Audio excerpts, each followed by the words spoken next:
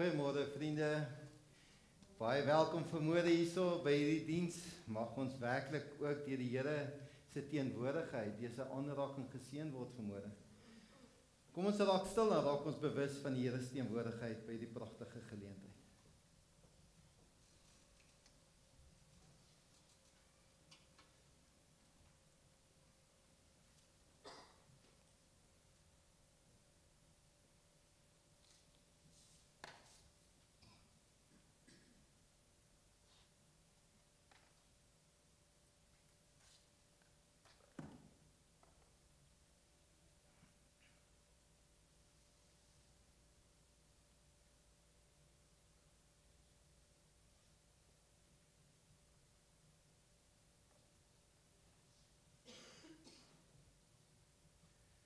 Wanneer ons vermoede so kom stil word by die voete van die Here.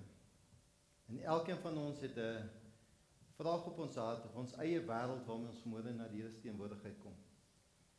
Hoor net hierdie woorde van hierdie mooi Psalm 121. Ek slaan my oop na die berge. Waar sal my hulp vandaan kom? Vermoede kan ons bevestig saam met hierdie digter My hulp is van die Here wat die hemel en die aarde gemaak het. Hy kan jou voete nie laat wankel nie. Jou bewaarder kan nie slymer nie.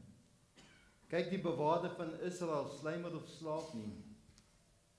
En dan bevestig ons môre saam die Here is jou bewaarder. Die Here is jou skaduwee aan jou regterhand. Die son sal jou bedags nie steek nie en die maan ook nie by die nag nie. Die Here sal jou bewaar vir elke onheil. Jou siel sal hy bewaar. Die Here sal jou uitgang en jou ingang bewaar van nou af tot in al die ewigheid. Amen. Terwyl ons so sing, dan sit dan sing ons hierdie pragtige lied van môre saam met hierdie begeerte in ons hart en te besef die Here kan nie slymer of slaap nie. Die Here is ons bewaarder. Dan sing ons hierdie lied saam met die video U is alles vir my. So sit in 'n saam.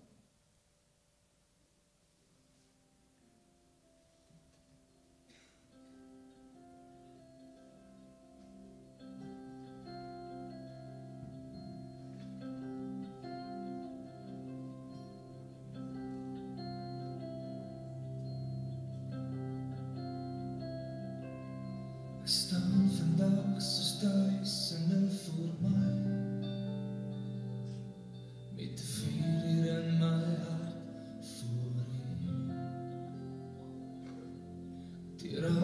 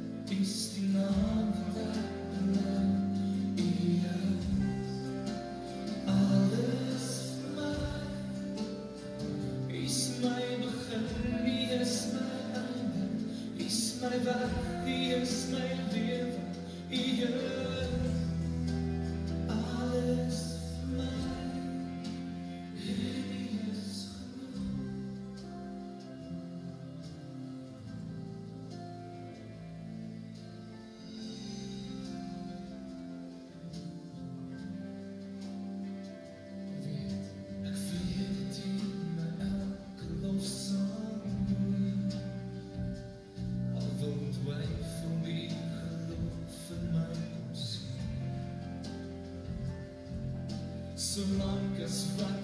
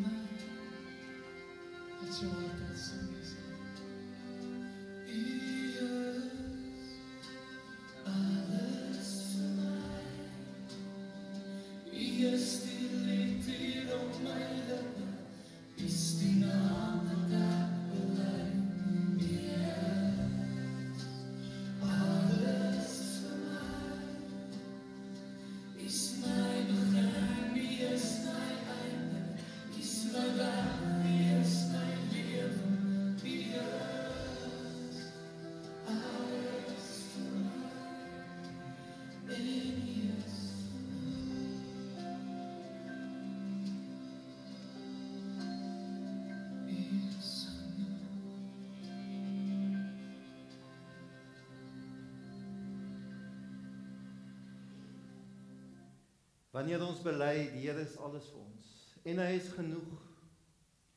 En ons wil dit vir die weldaad bely en ons wil vermoed daai Here kom ontmoet. Kom ons seën mekaar en groet mekaar in die naam van die drie enige God en bevestig sy teenwoordigheid, die God wat genoeg is. Genade en vrede vir julle van God ons Vader en Jesus Christus in die kragtevolle werking van die Heilige Gees. Amen.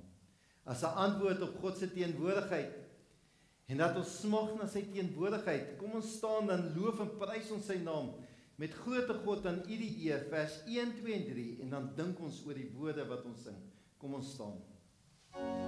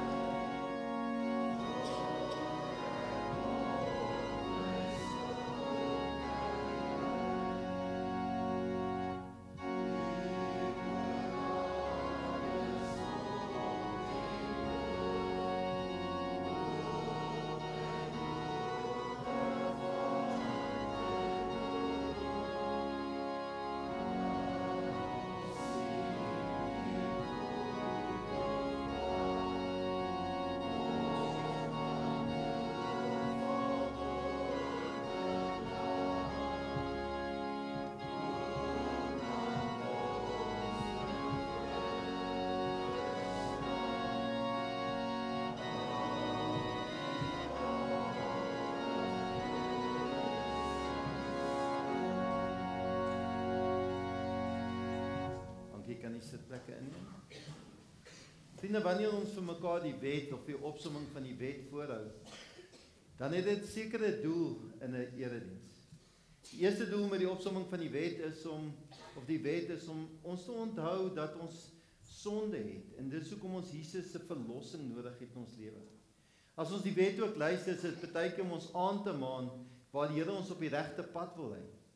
Of vanmôre wanneer ek vir julle die wet lees of die opsomming van die wet, het dit die ander doel. Net soos wat ons die Here wil loof en prys ons lewe met wanneer ons sing, so wil ons die Here loof en prys en met dankoffers en vir hom tot eer van sy naam uit dankbaarheid offers bring. So gaan leef ons ook uit dankbaarheid in hierdie wêreld en lees ons vir mekaar die wet om ons te herinner hoe moet ons gaan leef uit dankbaarheid. Daarom wil ek vir hierdie lees uit Romeine 12 daarvan af vers 9. Laat die liefde ongeveins wees vir afskie wat sleg is. Hang die goeie aan. Wees hartlik teenoor mekaar met broederlike liefde. Die een moet die ander voortgaan in eerbetoning. Wees nie traag in die ywer nie, wees vurig van gees. Dien die Here. Verbly julle in die hoop, wees geduldig in die verdrukking, volhard in die gebed. Maak voorsiening in die behoeftes van die heiliges. Streef na gasvryheid. Seën die wat julle vervolg. Seën en moenie vervloek nie. Wees bly met die wat bly is en ween saam met die wat ween. Wees eensgesind onder mekaar. Moenie na hoë dinge streef nie, maar voeg julle by die nederige. Moenie eie wys wees nie. Vergeld niemand kwaad vir kwaad nie. Bedink wat goed is vir alle mense. As dit moontlik is, sover as dit van julle afhang, leef in vrede met alle mense. moet julle nie breek nie geliefdes, maar gee plek vir die toren want daar's geskryf aan hom kom die toe die wraak. Ek sal vir geld spreek die Here. As jou vyand dan honger het, gee hom iets om te eet. As hy dors het, gee hom iets om te drink. Want sodoende sal jy op sy hoof vuurige kole ophoop. En dan terwyl ons so sit, wil ek hê ons met hierdie pragtige lied sing. Hoekom kan ons dit doen? Hoe gaan ons dit regkry? Uit dankbaarheid vir die Here wat opgestaan het. Terwyl ons so sit, kom ons sing hierdie pragtige lied saam met die orgel.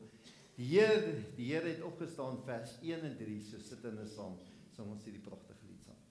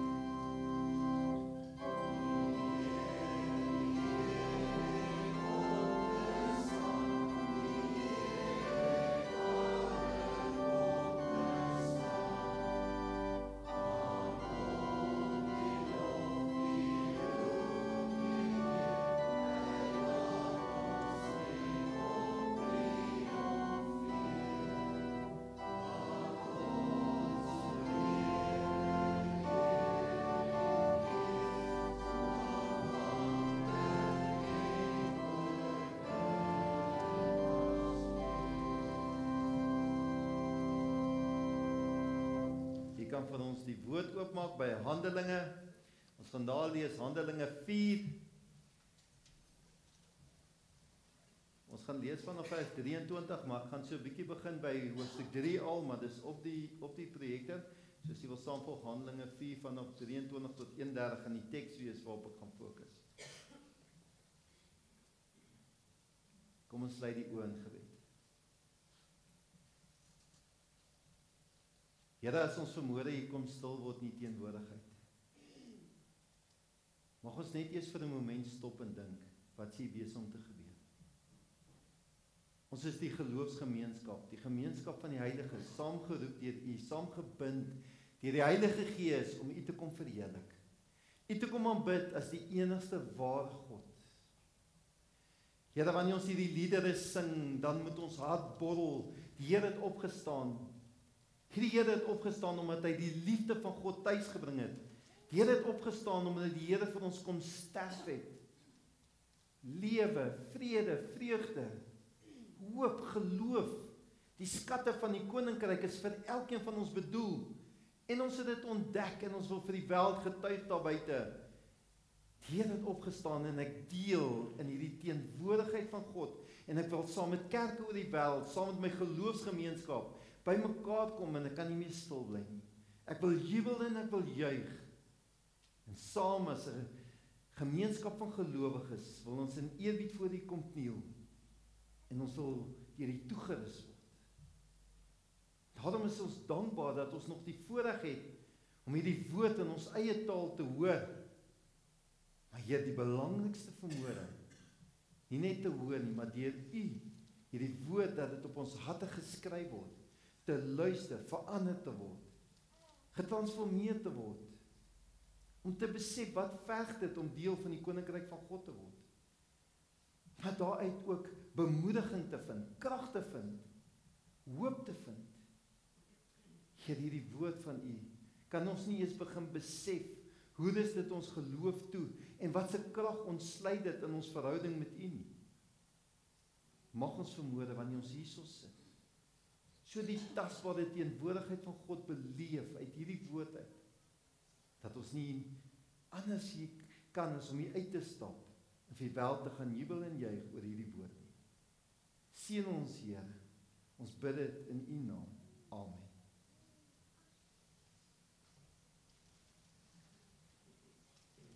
Daar's 'n mooi gesegde wat sê When the going gets tough, the tough gets going. Nou toe ek op skool was, was daar so 'n liedjie gewees van Billy Ocean wat ons so lekker saam gesing het.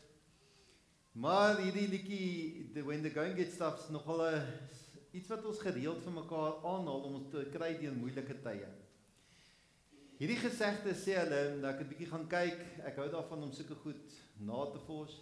Sê hulle dit sou ontstaan so in die 50er jare gehad en dis 'n algehele term wat eintlik gebruik word met voetbal, Amerikaanse voetbal, waar hulle vir mekaar probeer moed en praat om te sê maar wanneer daai hierdie moeilike tye oor jou pad kom, moet ons hierdie moeilike tye gebruik om ons nie te kry dat dit ons ontmoedig om eerder weg te loop nie, maar juis hierdie moeilike dinge hierdie taf te gebruik om ons te inspireer sodat ons dit kan oorkom, om ons vir die durf te gee om vooruit te gaan om by ons doelwit uit te kom. So dis hoekom ons vir mekaar bemoedig met hierdie woorde when the going gets tough, gebruik daai taf om vooruit te gaan en by jou doelwit uit te kom. Maar nou begin ons deesdae al meer hierdie ene kry. When the going gets tough, tough takes a coffee break. Ons leef in 'n wêreld waar mense nie meer waar regtig hulle omstandighede gebruik as 'n motivering om vorentoe te gaan. Ons is 'n wêreld waar dit vir ons waar spanning 'n probleem is, waar as gevolg van te veel spanning en te veel probleme in hierdie wêreld. Waar ons eerder wil wegbeweeg of net niks met die spanning te doen wil hê nie. Of as ons betrokke raak in die spanning dan sit op 'n aggressiewe, lelike wyse. Ons sukkel om hierdie taf te gebruik as inspirasie om vooruit te kom by ons doelwit uit te kom. Nou ons vandag se tyd nou elke ou is bietjie anders en ek wil niemand veroordeel nie. Asseblief moenie veroordelinge sien nie, want ek gaan net 'n alternatief vermoed op die tafel sit. Ons sien op die TV hoe mense wanneer die wanneer when the going gets tough, hoe hulle ons sien op die TV hoe mense gaan, dan gaan hulle na 'n kroeg toe en dan gebruik hulle dit om saam met vriende daar met tafel te sit en bietjie versnaperinge te gebruik en daarvan af jou vriende al die inligting te kry om jou probleem te probeer oplos. Nou weet ek nie hoe nut hoe waardig is daai inligting wat daar gaan uitkom om jou taf te oorkom nie. Die meeste van die tyd staan jy volgende môre net met 'n kop seer op en die taf is nog steeds daar.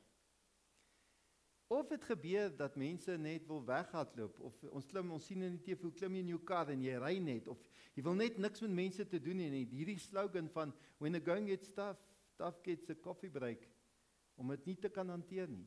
Elke ou probeer dit op 'n ander manier verwerk en daarmee deel. Vermoede wil ek net vir julle 'n ander alternatief wys. 'n Ander teorie van hoe kan dit moontlik wees om daardie situasie te gebruik en nog steeds by doelwitte uit te kom.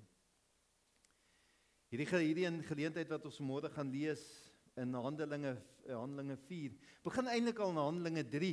Dit is so 'n mooi gedeelte waar Petrus en Johannes op pad is na die tempelterrein toe om te gaan bid. En by die tempelterrein kry hierdie verlamde persoon wat elke dag gedra is om daar te gaan sit en te bedel om te probeer ietsie in te kry om te oorleef. En Petrus en Johannes kom te by hierdie verlamde en ons sien daarso in Handelinge 3 staan daar hierdie hierdie man kyk toe na hulle en hy hoop om iets van hulle af te kry. En Petrus en Johannes sê toe geld het ek nie vir jou nie. Maar ek het wat ek vir jou het is in die naam van Jesus Christus van Nasaret staan op en loop. Hierdie persoon sit en kyk, ding net wat jy sy hart gaan. Hy's in afwagting om om maar eintlik almoese van hierdie mense af te kry. En hulle staan daar en hulle sê wat ek vir jou het is nie geld nie, maar wat ek vir jou het kom in die naam van Jesus Christus.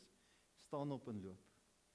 En ons weet daartoe genesing plaasgevind, hy het opgestaan en geloop en die skrifgeleerdes en die fariseërs het gekyk wat gebeur het. Hulle was glad nie gelukkig hoe hierdie persoon opgestaan en geloop het nie.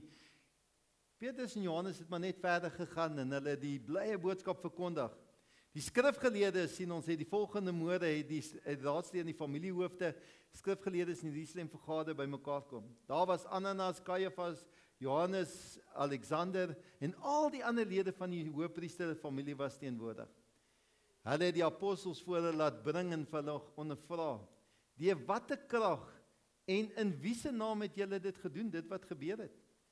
Toe het Petrus, hoor hierdie mooi woorde, vol van die Heilige Gees, het hy gesê, raadslede van die volk en familiehoofde, julle verhoor ons vandag oor die weldade aan hierdie siek man en oor hoe sy gesondheid gemaak is. Julle almal in die hele volk is sal moet weet dat dit in die naam van Jesus Christus van Nasaret is dat hy hier gesond geword het en voor julle staan. Die Jesus vir wie julle gekruisig het, maar wat God uit die dood uit opgestaan het.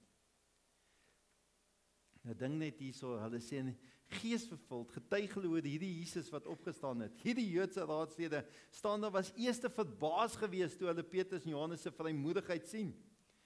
Gevul deur die Gees, hulle was verbaas oor hoe hierdie mense getuig het, want die raad het geweet dit is maar ongeleerde, eenvoudige mense wat hier voor hulle staan. Hoe kan hulle so praat? Hoe antwoord gee? Hierdie vervulling van die Gees. En hierdie ouens is toe verbuisterend, hulle weet nie wat om te doen nie. Daar staan toe in vers 16: Wat gaan ons maak? Dis 'n onmiskenbare wonder deur hulle plaasgevind het. Is dit vir al die inwoners van Jerusalem duidelik? Ons kan dit nie ontken nie. Hierdie persoon het opgestaan en geloop. Hier's 'n wonderwerk wat plaasgevind het. Hoe gaan ons dit hanteer? Maar om te voorkom dat hierdie dinge nog verder onder die volk versprei, moet ons hulle met dreigemente verbied om weer in die naam van Jesus met iemand daaroor te praat. Mag nie mense se wêrelde verander nie. Mag nie die koninkryk tuisbring nie. Ons moet hulle stop. Daarna die raad die apostels weer laat inkom en hulle beveel om glad nie verder in die naam van Jesus iets te verkondig om te leer nie. En hoor wat antwoord Petrus en Johannes hulle. Julle moet maar self besluit wat vir God reg is om aan julle gehoorsaam te wees of aan nie. Hier sit die hier sit amper soos die sinode, die hierdie kerklike leiers, die priesterhoofde, die ouens wat die Bybel van binne na buite ken. Hier staan twee gewone ouens onder die leiding van die Gees en hulle sê: "Julle moet maar self besluit hoe julle vir God gaan rekenskap gee." Wat ons betref, dit is onmoontlik om nie te praat oor wat ons gesien en gehoor het nie. Ons kan nie stil bly nie, ons kan nie ophou jubel en juig nie, ons kan nie ophou sing, ons kan nie vir die wêreld daar buite vertel nie. Nadat die raad die apostels daarby nog ernstig gedreig het, het hulle losgelaat. Hierdie is die hele prentjie voor wat ons hierdie teks gaan lees. Hierdie mense is gedaag, hulle lewe was in gevaar omdat hulle gedoen het wat Jesus van hulle gevra het. Hulle het bly boodskap kondig, hulle het hierdie wonder gedoen, hulle is toegesluit, hulle het amper hulle lewe verloor. En nou begin ons by hierdie teksgedeelte van vanmôre. Kom ons lees hom eers saam deur. Na hulle vrylating het Petrus en Johannes na hulle eie mense gegaan en hulle vertel wat die leierpriester en die familiehoofde alles vir hulle gesê het. Toe hulle dit hoor, het hulle God eensgesind aangeroep en gesê: "Here, U is die een wat die hemel en die aarde en die see en alles daarin gemaak het. Wat by monde van ons vader Dawid, U diensknegt deur die Heilige Gees gesê het: Waarom gaan die heidene nasies te kere en bedink die volke nietige dinge? Die konings van die aarde neem stelling in en die leiers van saam teen die Here en teen sy gesalfde."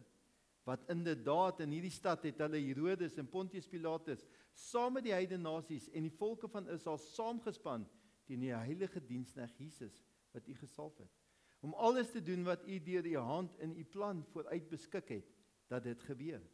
En nou Here slaan ag op hulle dreigemente en gee dat u diensknegt u boodskap met alle vrymoedigheid verkondig.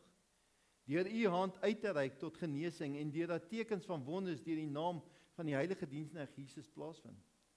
Terwyl hulle gebid het, is die plek waar hulle bymekaar was geskit en almal vervul met die Heilige Gees en het die woord van God met vrymoedigheid verkondig. As ons sommer net hierdie eerste gedeelte kyk. Na hulle vrygelaat is, gaan hulle na hulle eie mense toe. Na hulle eie mense gaan en hulle het alles vertel. Dit is nogal besonder wanneer ons hierdie ding kyk when the going gets tough, the tough takes a coffee break. Hier's 'n ander hier's 'n ander geleentheid. Hierdie mense gaan deur hierdie moeilike omstandigheid en hulle gaan terug na hulle eie mense toe. Toe ek jonger was, as kind was dit vir my een van die grootste impak in my lewe waar 'n kind siek was of 'n pa siek was of 'n ma siek was of 'n familie siek was. Dan het al die familie bymekaar gekom en hulle het gebid, hulle het om daai bed gestaan en hulle het ingetree in gebed, eensgesind ingetree in gebed vir daai persoon wat in daai bed lê. Selfs familie wat nie gereeld kerk toe gaan het nie, selfs familie wat bietjie afgedwaal het van God, het ewe skielik bymekaar gekom en hulle het hulle geweet. Daar's net een, daar's net een antwoord vir hierdie probleem. Ons moet tot God bid. As ek sien sommer in my kantoor en wanneer mense deur moeilike omstandighede kom en by 'n punt waar hulle weet, dis nie meer by hulle vermoë nie, dis nie by hulle kragte nie, Die eerste ding wat hulle gewoonlik sê, jammer ons was so lank lank in die kerk of jammer ons kom nie so gereeld kerk toe nie. Maar ons het nou hulp nodig en hierdie hulp kan nie van 'n mens afkom nie. Ons moet ons oor rig tot iets groter as onsself. God alleen kan die uitkoms bied. Ek luister sommer net gister vertel iemand my daar by Sterkrivier se bazaar, sy broer is 'n ateïs. Sy glo glad nie in God nie en hulle is bo in 'n microlight besig om te vlieg en dit begin in 'n lewensgevaarlike situasie word en hoe die microlight en hy sê amper paar keer was hulle lewe daarmee heen en toe hulle land toe sê sy broer vir hom jy sal nie glo nie daar was 'n paar keer situasies wat ek maar ook tot die Here gebid het en gevra het vir hulp. Wat selfs 'n persoon wat erken het hulle nie gelowig is nie gebid het tot God. Hierdie eensgesindheid wat hulle hierdie mense van sy eie bymekaar gekom het Wat nie beteken hulle teruggegaan in die hele kerk. Hy het nie teruggegaan na die hele kerk, na die hele gemeente nie. Hy het na sy eie groepering toe gaan, sy eie mense, die mense wat sy geloofsvriende was wat saam met hom sy reis aangepak het. Om deel te wees van so 'n vriendekring, van so gelowiges wat saam met jou is, is so kardinaal belangrik vir ons vandag. Ons besef nie eens wat ons mis in ons reis vandag nie. Elke mens het sekere basiese behoeftes. Elkeen van ons wil voel ons is geliefd. Dis hoekom dit belangrik is om God te weet God het jou lief. Elkeen van ons soek sekuriteit. Elkeen van ons soek 'n plek om te hoor en 'n plek om gehoor te word. Hierdie mense kom uit hierdie gevaar situasie en hulle gaan na hulle eie mense toe, hulle geloofsvriende wat hulle ondersteun waar hulle hulle self kan uitspreek oor hierdie nood wat hulle gehad het en hulle weet hulle word gehoor. Daar's 'n plek van veiligheid in geloof in die teenwoordigheid van God. En vir ons is dit belangrik om te weet in Jesus Christus het hy ons kom deel maak van 'n volk, deel maak van sy kerk, deel maak van sy familie. Maar daarom moet jy weet jy het 'n familie waartoe jy kan gaan. Jy het 'n vriendekring wat saam met jou sal bid. Jy het 'n vriendekring wat vir jou in geloof sal omgee om in te tree by God. Maar daarmee moet jy besef ook jy moet deel wees van daai vriend. Jy moet vir iemand anders ook kan instaan in daai tye van nood. Dit gee vir jou in geloof daai sekuriteit. Daai plek van hoop, daai plek van veiligheid om ons te help om deur te staan in hierdie moeilike tye when the going gets tough. En dan sien ons in die mooi gedeelte, hulle het eensgesind aangeroep. Eensgesind deur die Heilige Gees saamgebind, gefokus. Daar's net een antwoord vir die uitkoms van wat hier kan gebeur en dis God. Hulle sê daar Here, U is die een wat die hemel en die aarde en die see en alles wat daarin gemaak het, wat by monde van die Vader Dawid uit die diensknegt deur die Heilige Gees gesê het, waarom gaan die heidene nasies so te kere en beding die volke nietige dinge? As ons sommer die eerste woord, die aanroep hoor, Here, daai woord Here, is nie maar net per toeval nie. In Grieks gewoonlik die uitroep van die woord Here is bekend as Kyrios. Dis die woord wat altyd gebruik word vir Here. Maar in hierdie gedeelte is dit nie die Kyrios wat gebruik nie, dis die woord despotes. Die betekenis daarvan moet ons besef, dis gewoonlik 'n woord wat gebruik word om te sê meester, meester slaaf of soos wat Julius Caesar sê, hy's die despotes van die wêreld. Hy's die meester en almal is afhanklik van hom. Hy's die voorsiener van die hele koninkryk. Hierdie mense kom eensgesind en hulle roep tot hierdie Here. Sê: "U is die enigste meester wat daar kan wees." Daar's niemand hoër as U nie want U is die skepper van die hemel en die aarde. U is die begin en die einde, dis die een wat alles voorsien. Daar is nie nog een soos U nie. Daarom kan U is U die enigste een, die despotes wat die hoogste plek kan beklee wat ons kan aanroep. En dan gaan hulle sê: "My Here, daar was nog altyd gevaar. Daar was nog altyd hierdie boos wat ontwikkel het." By monde van die Vader van ons dienskneg, u dienskneg deur die Heilige Gees sê, waarom gaan die heidene nasies so te kere en bedink die volke nietige dinge? Daar's hierdie oproep, daar's die gevaar selfs in die Ou Testament. Ons as Christene leer dit in die Bybelse tyd. In die Bybelse tyd het die mense geleef in die nou en die hier. Met hulle rug na die toekoms en alle antwoorde vir die probleme nou en hier het hulle gaan soek in die verlede. Het hulle die antwoorde gaan soek in die verlede. En daarom gaan hulle terug na die verlede en sê, "Maar kom ons kyk, hierdie God, hierdie meeste van ons, hoekom kan ons op hom vertrou?" Hierdie God wat al reeds in die Ou Testament vir Dawid gehelp het met die aanvalle van die heidene nasies en die konings wat hom bedreig het. Hierdie mense wat in opstand gekom het. Maar dis nie net daar nie. Ons sien verder selfs die konings van die aarde neem stelling in in die leiespan saam teen die Here en teen sy gesalfde. Want inderdaad in hierdie stad het hulle die Herodes en Pontius Pilatus saam met die heidene nasies en die volke van Israel saamgespan teen die heilige diensknegt Jesus wat u gesalf het. Hierdie hierdie heiden hierdie Pontius Pilatus, hierdie Herodes, hierdie priesterhoofde waar eintlik vyand en 'n vyande van mekaar was, het ewe skielik vriende geword. Hulle het ewe skielik saamgekom want hulle het 'n nuwe vyand gehad. Hulle wou hierdie Jesus Christus uitwis. Hierdie bedreiging en hulle het hom gekruisig. Hulle het hierdie planne gesmee om Jesus uit te wis. Dan sê hulle maar weer eens Net soos met Dawid, weer eens nou met Jesus Christus, kom wys dat die boos kan planne maak, die vyande kan planne maak. Maar u wat God kom wys vir hulle hoe leeg is hulle planne. U gaan wel 'n stap verder. U gebruik al hulle planne, u gebruik al hulle boos en u omskep dit dat dit ten goeie meewerk. Want wat het u gedoen met Jesus Christus? Al hulle planne wat hulle gemaak het en alles waarmee hulle besig was, het u ten goeie laat meewerk. U het verlossing bewerkstellig vir die hele wêreld met wat hulle plannetjies was. Dis wat u wat God is, wat die Skepper is kom doen om alles te doen wat deur die hand beskik. Dink bietjie daaroor, al hierdie dreigemente. Vir Dawid was dit die heidene nasies, die Jesus die konings. Vir Jesus wat dit die Joodse leiers, die skrifgeleerdes, Pontius Pilatus, Herodes. Vir Johannes en Petrus wat ons in hierdie teks lees, dit weer die skrifgeleerdes en die familiehoofde. Maar net so vir ons vandag sit ons almal met dreigemente. Ek weet daar's mense wat sê, maar wie wat finansiëel gaan dit met my goed? Daar's mense wat sê met my gesondheid gaan dit goed.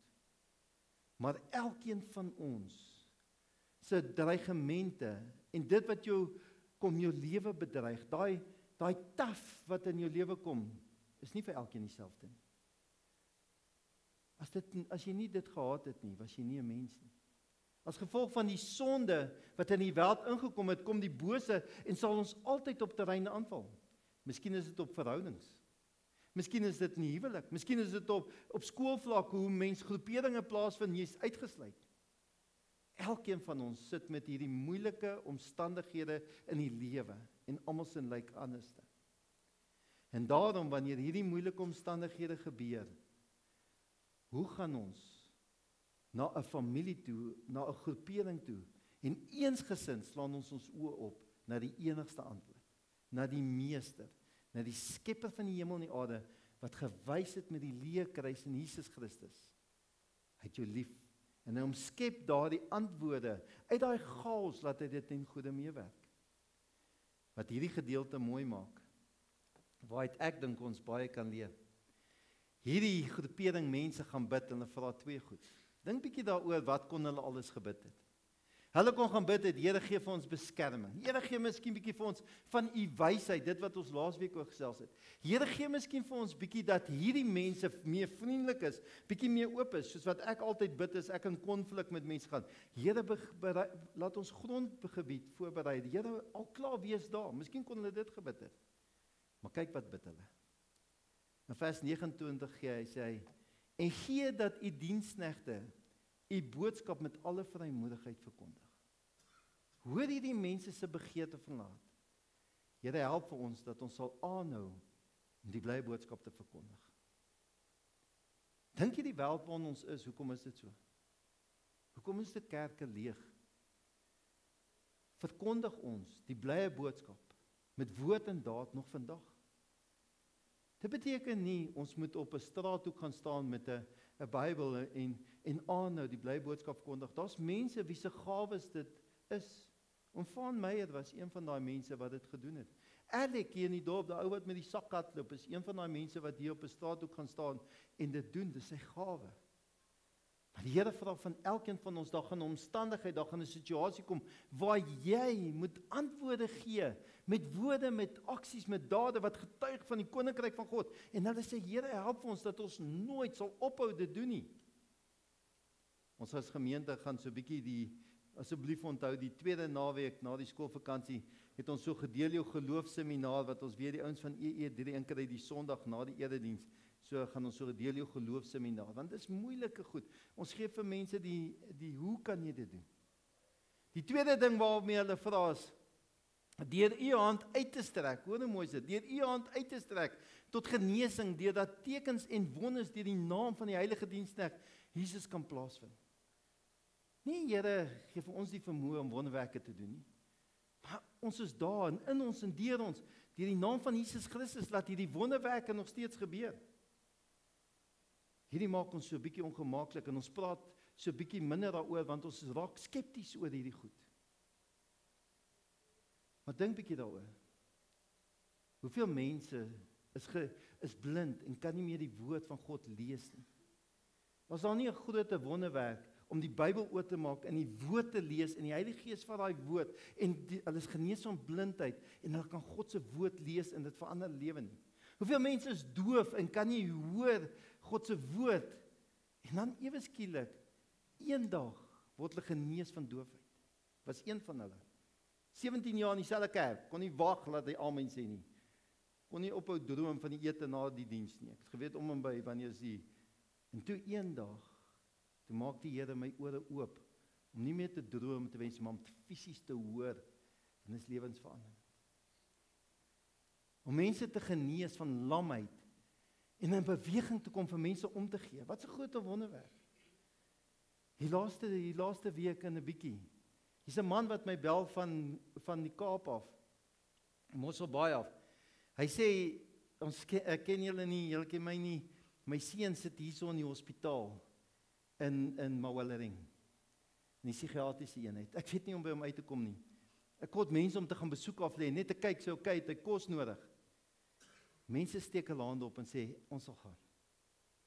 Elke dag was daar iemand om hom te besoek, om vir hom kos te vat, vir hom brood te vat, om water te vat. Wat 'n groot wonderwerk is daar nie dat in en deur mense die naam van Jesus by mense tuis gekom het. Daai pa was verwonderd. Hy kon nie glo dat die koninkryk van God so werk nie. Wat 'n groot wonderwerk is daar wanneer 'n pa en ouers en kinders daai heelheid kom in liefde in families plaasvind en hulle saam God begin verheerlik. Wonderwerke het nog nie opgehou gebeur in vandag se tyd nie. Ons moet die Heilige Gees aanhou vertrou. Hierdie getuienis wil ek graag met u deel van hierdie ou. Jy weet as mense so luister na na na al hierdie goed wat in ons wêreld gebeur, hierdie uh Marie Hy het gekom Suid-Afrika, sy pa het gekom uh, Suid-Afrika toe met sy twee seuns. En hulle is hier gekom en en sy seuns was baie begaafd geweest. En uiteindelik het hy hulle terug Skotland toe gestuur om te gaan en en te gaan verder studeer, skool te gaan. En uiteindelik is hulle toe van daar af Holland toe en teologie gaan studeer. Baie begaafd. Daar moet hulle te vir William Barnes wat vir hulle leer oor die begeerte om mense te kry om die naam van die Here te bely as 'n saligmaker en verlosser. Hulle kom toe terug Suid-Afrika toe 20 jaar oud wil predikante wees hier sommer die kerk in Kaapstad sê nee, jy moet ten minste 22 wees voordat jy predikant kan wees. So gaan hulle toe nood van ag toe so gaan hulle nood van Bloemfontein, daar's al so 12000 mense wat al getrek het. Dis hier in die 1860s en hy begin toe werk hierso en en uh, as 'n sendeling. Hy moet vir 11 jaar op en af ry die mense te begeete aan die Here. Hulle wil Here teenwoordig en hy begin werk tussen die kerk as hulle dominee op te tree vir 11 jaar. En uiteindelik word hy beroep Woester toe. Maar by Woester gekom is daar geestelike doodheid. Dis waar Pinkster ontstaan het. Die tradisie wat ons het. Daar's 'n geestelike doodheid. Dan moet toe daar vir hierdie dominee van 'n linge en hulle begin toe een begeerte op hulle hart dat daar 'n geestelike herlewing sal kom daarson in die Kaap. En die gemeente begin elke maandag op tyd op tyd uitsit om te bid dat die Heilige Gees mense sal kry om weer God te begin te te soek en te aanbid en te smag na sy teenwoordigheid.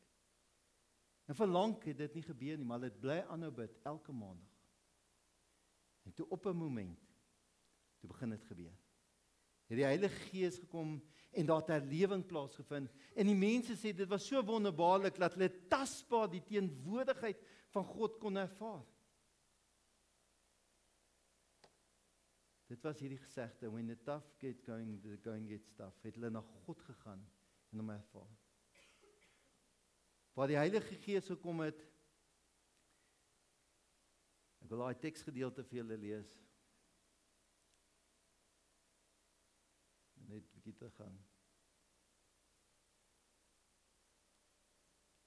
En terwyl hulle gebid het, is die plek waar hulle bymekaar geskit eh, geskit en almal vervul met die Heilige Gees. Ons kom in hierdie dorp bymekaar en ons het gebid vir water vir reën, nie lank terug nie. Daar by die skool. En toe kom die vloedwater en ons almal het na die Nyl toe gestroom om die foto's te neem. Ons kom gereeld by mekaar en train vir kinders en vir familie vir gebed. Hierdie vervulling van die Gees, soos wat hulle ervaar het, het met Pinkster op ons almal gekom. Die Heilige Gees is nog steeds teenwoordig, maar ek dink die tyd het gekom dat ons as geloofsgemeenskappe nie net begin bid vir jouself en dit wat jy nodig het nie. Ons moet begin bid vir geestelike herlewing. Ons moet begin bid soos wat hierdie gedeelte sê. Ons moet begin bid op God se teenwoordigheid. Ons begin fokus op hom. Ons moet begin bid en ons begin fokus op die God wat die skepper is van die hemel en die aarde. En besef dat sy wonderwerke in en deur ons nog steeds kan gebeur. Ons moet begin aanhou sy boodskap begin verkondig. En dan moet ons geduldig bly wag en weet die wonderwerke sal gebeur. Ons moet ophou om die verdeeldheid te te profeteer. Ons moet aanhou ophou sê, maar hoekom is kerke so leeg? Ons moet ophou om te om die negatiwiteit te verdaai. Wat ons moet werklik doen soos hierdie mense gedoen het, al was hulle in hierdie krisis, al was hulle in hierdie nood, bid vir die Here vir ons krag te gee en sê Here, laat ons nooit ophou verkondig nie. Laat ons nooit ophou met die werke van die hande. Mag ons nooit ophou bid nie. Vriende, die tyd het gekom in Suid-Afrika dat ons die teenwoordigheid van God en die werking van die Gees nog steeds kan ervaar en verbuisterend kan staan wat kan gebeur. Kom ons sluit die oë. Here As ons sommer net kyk wat besig is om te gebeur om ons. So baie mense wil weghardloop. So baie mense word mismoedig. So baie mense word met wanhoop vervul. Want dit wat gebeur is net te groot. Maar laat ons leer uit hierdie mooi getuienis van die disippels. Dat ons verby die situasie en verby die probleme moet fokus op ons meester, ons skepper. Een wat in beheer is van hierdie geskiedenis, wat in beheer is van hierdie wêreld. Here help vir ons om by mekaar te kom as geloofsgemeenskap. Nooit op te hou bid nie. Nooit op te vra Here maar in die naam van Jesus laat die wondere nog steeds gebeur. Mag ons u werke ervaar die tasbaarheid van die teenwoordigheid van God. En mag dit ons dring daardie krag wanneer ons die seën op mekaar uitspreek en wanneer ons die liedere sing. Dat dit nie net woorde is nie, Here maar dat ons so geesvervuld is te weet maar God het my lief. Maar wat beteken dit vir my? Waartoe dring dit ons? Ek bid vir ons jong mense, ek bid vir die kinderkerk waarin die gang is van kleintyd af dat hulle sou besef maar Jesus is hulle verlosser. Wat beteken dit vir hulle? Ek bid vir ouers dat ons die keuse sal eers maak om God eers te stel in ons lewe. Ek bid dat kerke sal vol word. Ek bid dat mense sal terugdraai na U. Ek bid dat gemeenskappe in ons dorp sal sê maar daar is net een antwoord. En sy naam is God. Hierdie Jesus Christus wat genade ons welkom betree, kan ons sy liefde ervaar. Hierdie Heilige Gees word ons herinner daaraan. Mag ek die smagtende begeerte hê om U in elke oomblik van my lewe dan bid, te getuig en te ervaar. Ons bid dit in Jesus naam alleen. Amen. Daar's geleentheid om die Here te dien met die offergawe.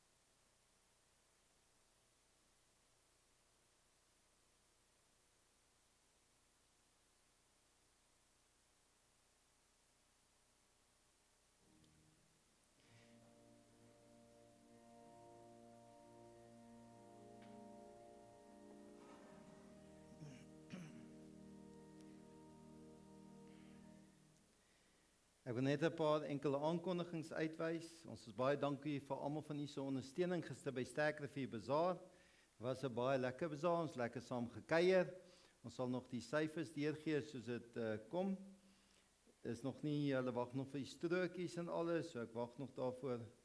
Dan wil ek net uitwys die ehm um, die Bybel, ons gaan meer en meer nou die 2020 vertaling Bybel gebruik. As jy 'n harde kopie van die Bybel graag wil hê, dan kan jy dit by die kerkkantoor gaan bestel. Ehm um, ek dink dis in die afkondigings dan ons gaan 'n groot bestelling deursit, so gaan gee net u naam op. Hy's gratis op die foon en uh, hy's lekker ook op jou rekenaar, dan kan jy die verskillende vertalings langs mekaar sit en kyk waar verskil hulle van mekaar, maar gaan u kan dit gratis op die foon aflaai. Elke so 20 tot 30 jaar bring hulle offisiële nuwe vertaling uit soos wat die navorsing opgramings gebeur. As jy met my daaroor gesels asseblief, ek sal met u graag dit deel. So dit was 33 was die eerste vertaling, 53 die tweede vertaling, 83 toe die volgende vertaling en 2020 is nou die offisiële volgende vertaling. So hy's hy, jy kan hom by die kerkkantoor gaan bestel en dan is hy gratis op die telefoon ook beskikbaar. Soos wat ek gesê het, asseblief, asseblief kom ondersteun dit die tweede Sondag na die ehm um, na die skoolvakansie die 30 eh, nee nee kom ons sê om 30 Julie. O, jeng. Ek kom nou nie ek sê is op dieselfde bladsy. Want ek het nie hierdie ou geboek vir 30 Julie. Wat sê tweede Sondag na die skool? Wanneer maak die skool oop? En wanneer maak hy oop, Rudolf? O genade, ek het ou verkeerde datum geboek.